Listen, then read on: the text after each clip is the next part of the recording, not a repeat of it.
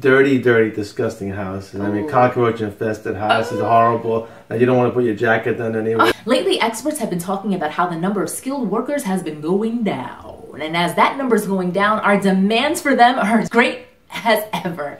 That's right, we still need construction workers, plumbers, electricians. We still need these things in order for our society to function. Now, if you know anything about supply and demand, you know that as the number of skilled workers go down and the demand goes up, that only equals one thing. Ka-ching! If you're interested in finding out how you can get in on that cash flow, keep watching. I'm Jordana. I've been a college counselor, college admissions rep, and adjunct professor while married into the military. I've lived in New York City, Savannah, Alabama, and even Korea with my husband and two baby boys. I don't know where we're moving next, but I do know that counseling teens towards their future has stayed the passion of my heart. So that's how I got to be here right now with you, helping you take the next step in your journey towards your future. Hello! Come on in and take a seat on the counseling couch. Hi, you're watching Journey with Jordana, helping you take the next step in your journey towards your future. Come on in and take a seat on the counseling couch, but you're gonna have to move over because I have a special guest today. Ladies and gentlemen, meet Phil. Now, Phil is one of those workers in a highly skilled trade field. In fact, his specialty is plumbing. Hold on. I know what you're thinking. I don't want to become a plumber. I'll just skip ahead to the next video, but don't do that.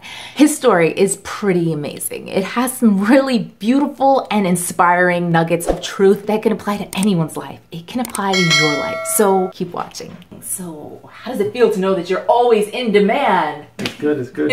It's a job security. That's great. How long have you been a plumber? I don't I was 25 as a helper. And I'm 56 now, so. Wow, Uh, it's been a while. Yeah, it's been a while. How did you decide to become a plumber? It it wasn't my first choice. Figured out I would just start a trade. Figured out all the trades, uh, you know, from electrical to carpentry and plumbing. I, I, uh, so I knew someone who yeah, who was a had a plumbing company. So I figured let me talk to him. Figured that's somewhere to start. And so I talked to him, and I got hired as a helper. I figured one day I'd just make my own, get my license, venture on my own, and then uh, I could be my own boss. I feel that's what I wanted to do. You know, I hated people telling me what to do and stuff. So uh, I figured be my own boss, and I'm, I'll be happy. You know. And I think a lot of people can relate to that. Like there are a lot of I'm sure a lot of you are like, uh, you know, corporate America is not for me. I want to be my own boss. And so here's an option for you. Yeah, I, mean, I worked in an animal hospital for a couple of years. It was a mm-hmm. nice job, and I wasn't making money there. You know, mm-hmm. went into the Department of Corrections for a couple of years. Mm-hmm. That was great money, but a horrible job. I'm having fights in there and fights, and so I didn't like that. Then I went into banking. That was no good right after corrections. I had that mean attitude towards the customers, so that, that didn't work out. So What do you want? I figured out, me get into my own business. And, uh, took a couple of years to get that correction attitude out of you. you Yeah. know, but, uh, and what also I appreciate it hearing you say is even in terms of you tried a couple of different things. And I know some of you you feel really afraid, like, oh, I have to get it right the first time, but you don't. You can have a fabulous career after you tried a few things, and then you can stumble upon what's right for you. So, what's an average day like being a plumber?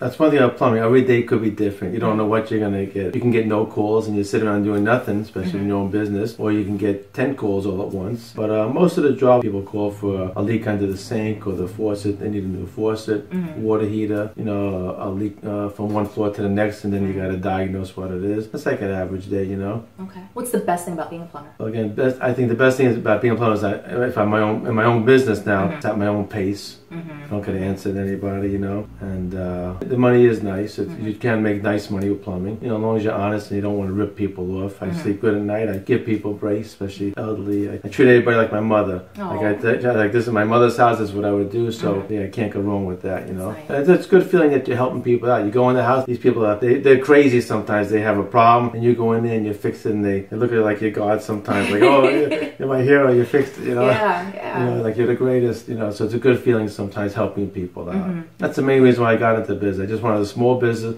not to get rich, just to survive, a little extra the money, and you help you mm-hmm. know, your neighbors out and you know, your neighbor community. You know, Right. So, okay, we asked the best, so I have to ask, what's the worst thing about being a plumber? The worst is sometimes you get nasty people, dirty, dirty, disgusting houses. I mean, cockroach infested houses, horrible. That you don't want to put your jacket underneath. Oh, no. You gotta kind of t- tell. Well, I got out to the truck for a second. Put your jacket out there, then come back in without your jacket. We go into uh, houses all over. Mm-hmm. I try not to look at people's house. I just walk through. Sometimes you can't help, but uh, Mm-hmm. you know. I, I mean, I, had a, I went into a house once.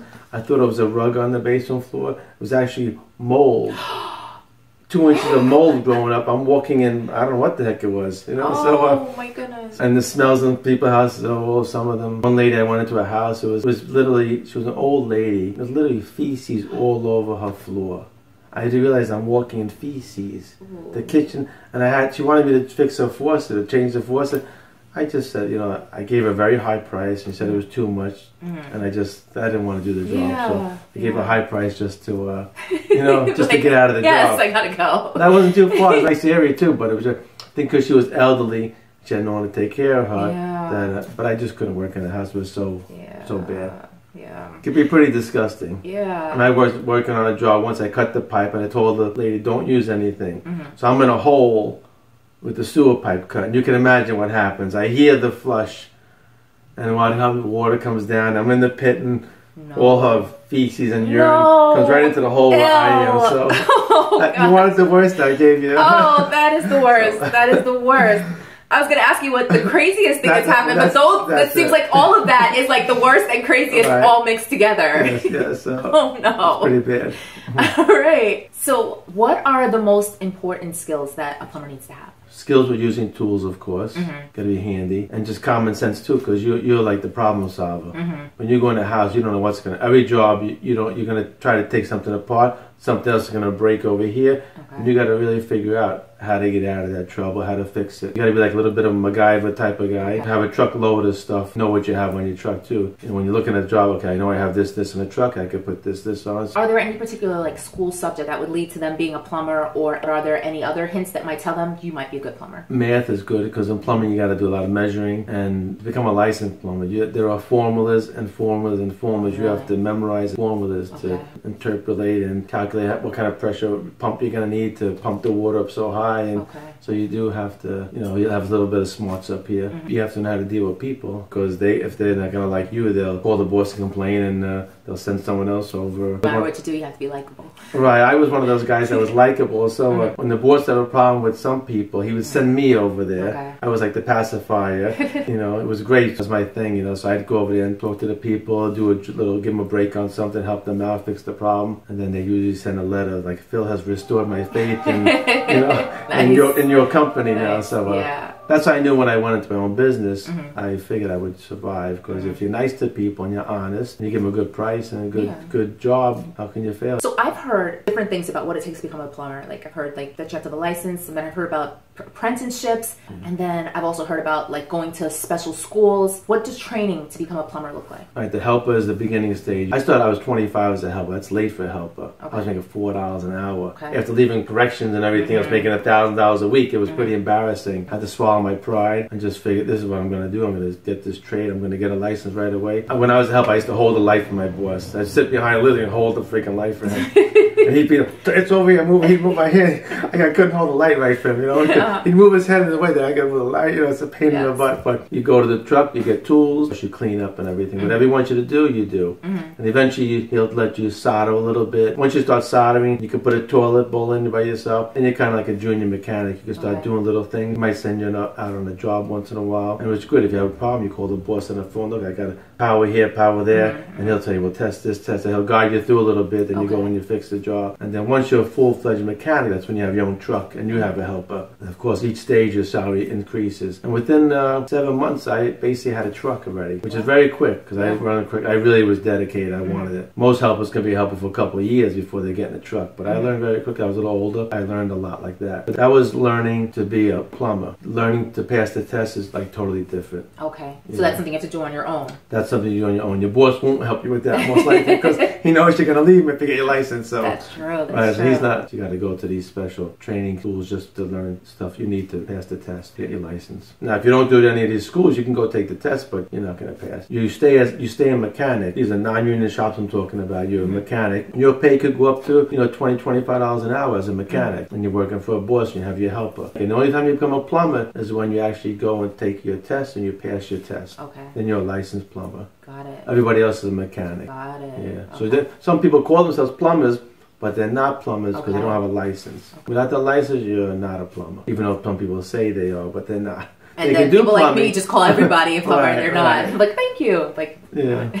Yes. So that's a, that's a big thing. Okay, good to know. So you mentioned that you were working for a company. You did that for seven years. Did you learn everything that you needed for the test while working with the company? No, what I did basically, I got a job I, uh, with a plumbing company. Mm-hmm. You have to work at least seven years on the books. You need seven years back before you can get a license. Okay. So then once you get your seven years in, then you start with your testing. And there's a, a written test. And if you pass that, then you got to go for a practical test. And if you pass that, then you got to go for a plan reading test. That took me about three years. I didn't go apply for the next thing, so I knew I passed the first part. Is there anything that people would be surprised to find out about plumbing or being a plumber? Like, again, like the, the testing to become a plumber, you'd be surprised. People don't realize that the hard test you have to do. License tests, like 72 multiple choice, and I had to write essays, three essays. I wrote 10 pages of essays for a plumbing test, so Wow. yeah. Did you know what the questions were going to be ahead of time, or you just had to go in? They repeat the questions a lot, Okay. so you you study all the previous tests and Okay. know how to answer those questions. Luckily, three of those essays were what I was going over, so Okay. I knew what I was going to write, and it was like a readings test almost. So, is there any last like advice or tips that you would give to somebody who wants to be a plumber? Basically, just watch and pay attention. I have a helper. My helper has been with me for 20 years, and he can't do squat. All he's worried about is how much he's money he's making. That when is it time to go home? Any excuse not to come to work. So if you're gonna be like that, mm-hmm. don't do it. But if you're really dedicated, watch your plumber, watch your mechanic, learn everything. Don't be afraid. If he says you want to solder this, solder it. I tell my guy, you want no, you you better do it. I might break it.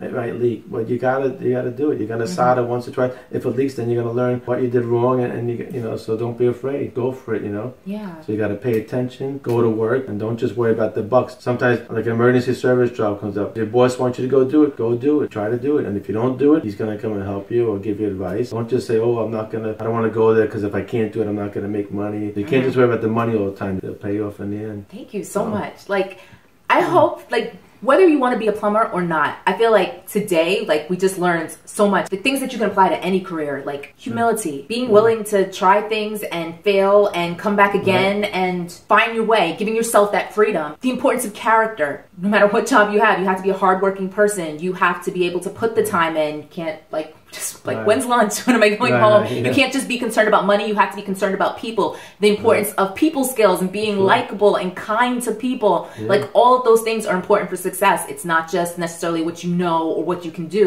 It's also who you are as a person. Yeah. So if they like you, they're going to recommend you to other Mm-hmm. people. That's how it works. Best way advertising, you know. Yep. Word of mouth. Thank Oh. you so much.